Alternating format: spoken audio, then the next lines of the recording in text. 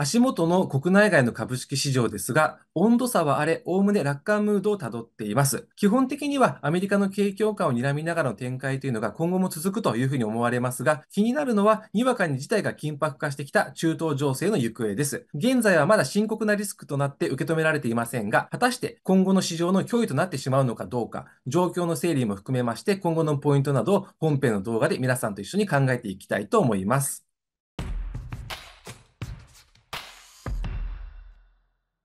皆さん、こんにちは。楽天証券経済研究所の土下です。この動画は楽天証券経済研究所のメンバーが毎朝交代で執筆しておりますレポートの解説動画となっております。で今回のテーマですね、ま緊迫化するま中東情勢、まこちらを中心にですね、ま足元の相場の動きですとか、今後のポイント、こういったところを見ていきたいと思います。それでは早速始めていきたいと思います。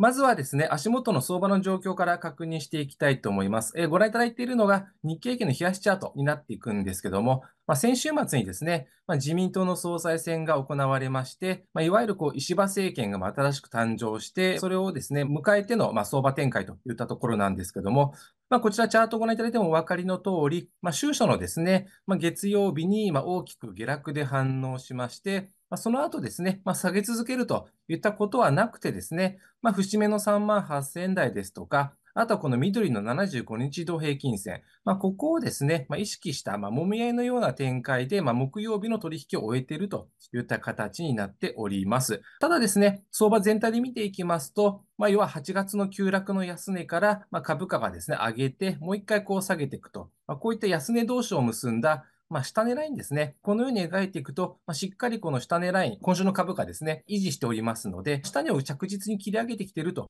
いうところで、確かにこう積極的に上値を追っていくような、まあ、ムードではないんですけれども、まあ、相場がですね、落ち着いていると言いますか、まあ、ちょっとですね、悲観的には傾いてないといった様子が読み取れるかと思います。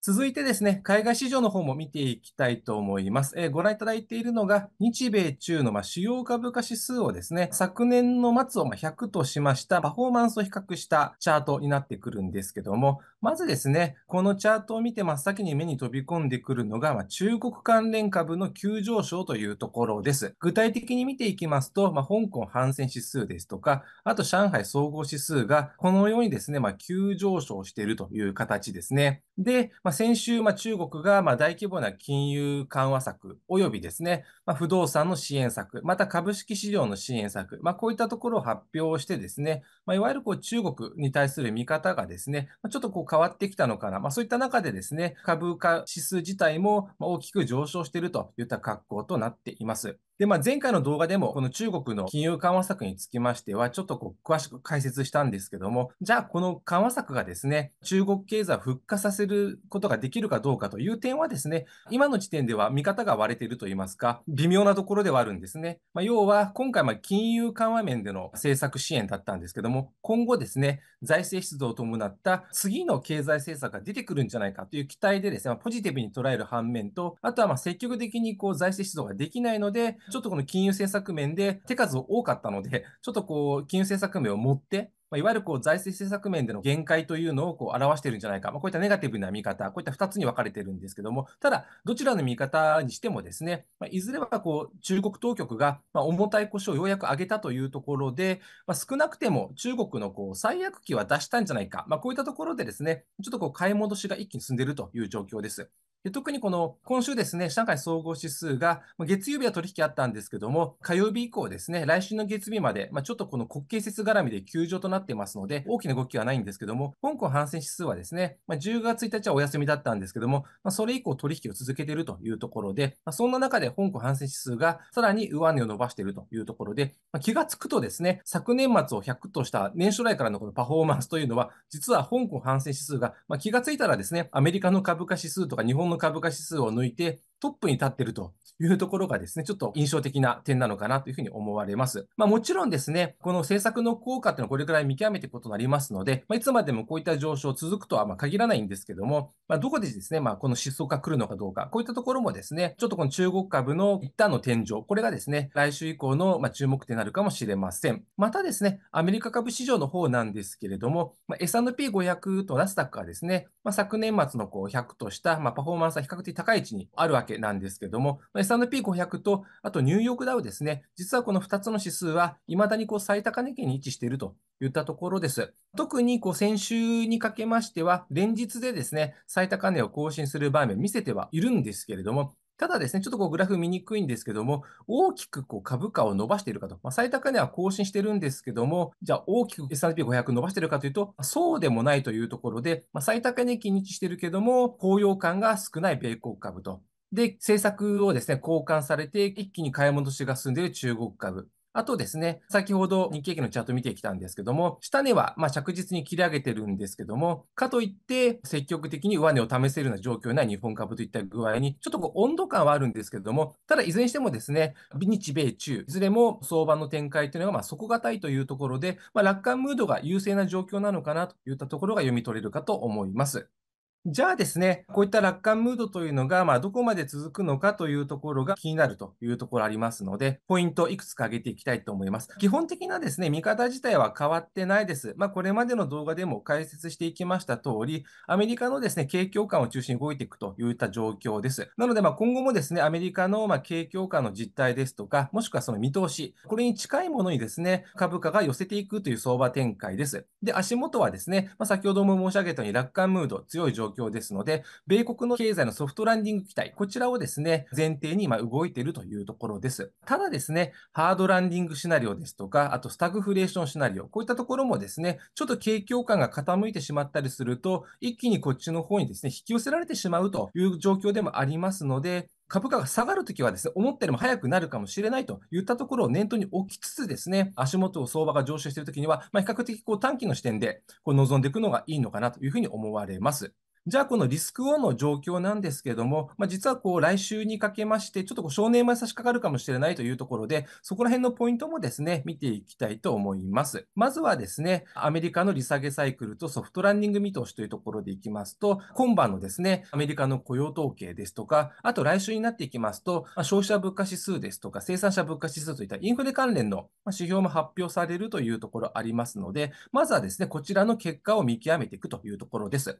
まあ、特にこの失業率に関して言いますと、8月の頭に発表されたですね、7月分の雇用統計、こちらの数字が悪かったというところで、アメリカで景気後退懸念が高まって、まだ記憶にも新しいんですけども、8月の相場急落につながったという面がありますので、今回発表されるアメリカの雇用統計もですね、ほぼほぼ予想通りであれば、無難に通過したというところで安心感高まって、上値をトライするといった展開も想定されるんですけども、例えば失業率がですね、思った以上に上昇してしまったですとか、そういったサプライズがあったりするとですね、ちょっと相場のムードがちょっと変わってしまうかもしれないという点には注意が必要かなと思います。で、またですね、アメリカについていきますと、ハリケーンですね、9月の末にですね、まあ、このハリケーンがアメリカに上陸しまして、ちょっとこう甚大な被害を与えているといったところありますので、その被害状況をですね、まあ、これを確認していく必要があるというところと、あと、10月に入りまして、アメリカの東海岸ですね、こちらのですね、港湾労働者のストライキというのが始まってます。まあ、なかなかですね、労働交渉が進展していないというところで、長期化してしまうリスクが出てくるというところです。となってくるとですね、物流面で滞りが生じてしまうというところでで、インフレをですね、加速してしまうような、まあ、材料として意識されるかもしれないというところありますので、まあ、こういったストライキの長期化懸念、まあ、こういったところもくすぶっているという形です。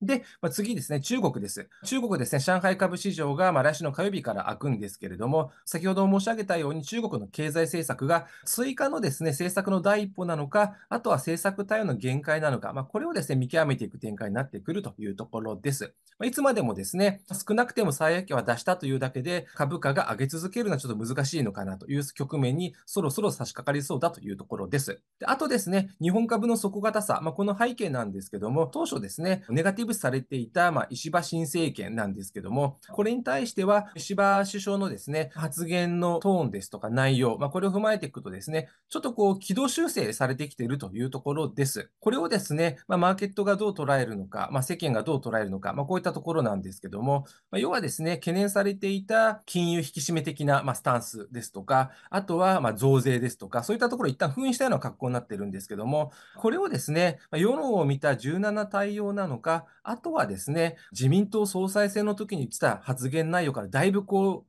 内容が変わってますので、意見がコロコロ変わってしまうというは手のひら返しが今後も起こるんじゃないかというところで、信頼低下につながるですね、布石となってしまうんじゃないか。こういったところもですね、ちょっと注意する必要はあるんですけども、今のところですね、マーケット自体はこの軌道修正を、まあ、概ね交換しているという状況です。であと最後ですね、中東情勢。こちらが、まあ、ちょっと経過が必要なのかなと思われます。今週のですね、10月10日に、イランがですね、イスラエルに対しまして、ま、200発近い、ま、ミサイル攻撃を行ったというところで、ま、それに対してイスラエル側も近いうちに報復するよという姿勢を示しているところで、ま、にわかに緊迫感が高まっているというところです。で、これにつきましては、確かにこのですね、イランがイスラエルに攻撃をした10月1日ですね、この日の市場の、これを受けた市場の反応というのが、まずこう株安、あとは債券安全資産が買われるですとか、あとは原油価格とか金価格が上昇したり、まあ、こういった動き見られたんですけども、ただこれが一時的にですね、とどまっているといったところを見ると、まだマーケット自体はですね、この中東情勢というのを深刻なリスクとして、まあ、捉えてない節があるというところです。なんでですね、中東情勢深刻なリスクとして捉えていないのかなんですけども、まあ、実はですね、これ時系列的に追っていきますと、4月にもですね、まあ、似たようなことが起こってまして、その時もですね、日経平均が確かこう3万9000台から3万6000台まで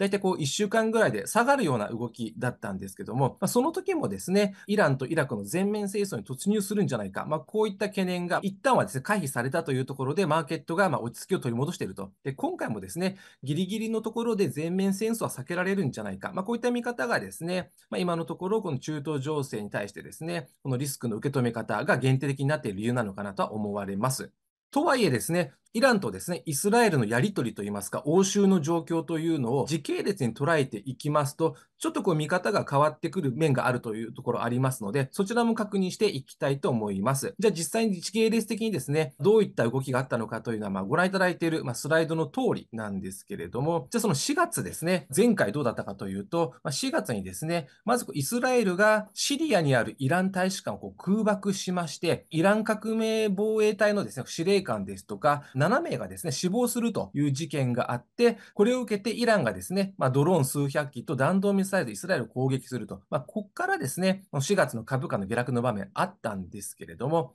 これを受けてですね、イランの軍事施設をさらにですね、イスラエルが報復で攻撃をすると。これで緊張感高まったわけなんですけども、その後ですね、イラン側がま報復をしなかったというところからですね、まあ、相場が落ちてきたというところです。で、今回もですね、まずこうイランが攻撃をしましたので、まあ、次のターンがイスラエルというところで、まあ、イスラエルがですね、まどういった報復をしてくるのかどうか、ちょっとここまではですね、この中東情勢不透明要素強いのかなというふうに思われます。で、しかもですね、その後見ていきますと、7月の31日なんですけども、ハマス指導者のですね、ハニヤ氏という方が、イランでですね、イランのテヘランで暗殺されるという事件があって、まあ、これをですね、イスラエルがちょっと裏で糸を引いてるんじゃないかという見方があったりですとか、あと9月の終わりにもですね、イスラエルがレバノンへ空爆しまして、ヒズボラの指導者のナスララ氏が死亡したという事件があったというところで、さらに10月に入ってですね、イスラエルがレバノンへ限定的な地上戦を開始したと。これを受けてですね、今週のイランの報復攻撃が出てきているというところです。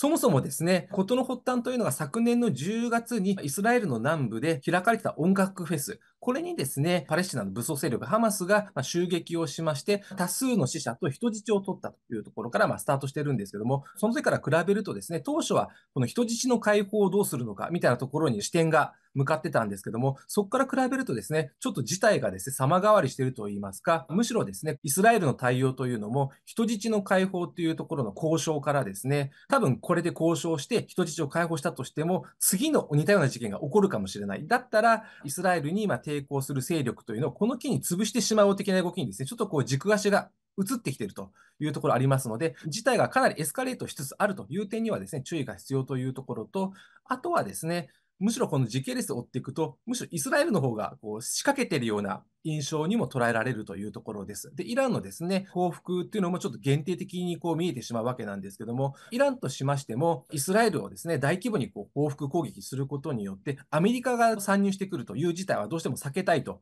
いう思惑があるというところもですね、足元の相場がこの中東情勢に対するリスク限定的と捉えているところではあるんですけれども、ただ、イスラエルがですね、こうなかなかこう手を引こうとしないという面からするとですね、もうこの中東リスクというのは、まあ、ちょっとこう侮ってはいけない面があるのかなというふうに思われます。またですね、このイランとイスラエルのこのやり取りということについては、アメリカの大統領選挙にも影響を与える可能性があるというところですね。例えば、今のですね、バイデン政権を踏襲すると見られているハリス氏が大統領選挙で勝利した場合ですね、おそらくイラン側もですね、交渉の歩み寄りの姿勢を見せてくるかと思うんですけども、すでにこのバイデン政権の段階で、このイスラエルをコントロールできてないというところあるとですね、まあ、交渉が難航することも想定されますので、今のような状況がずるずると続いてしまうといったところも想定されますし、あとはトランプ氏が勝利した場合ですね、トランプ氏というのは、新イスラエルというふうに目されてますので、積極的にイスラエルに協力するという形になるとですね、よりこう戦争に近い状況に向かっていく可能性もあると。となってくると、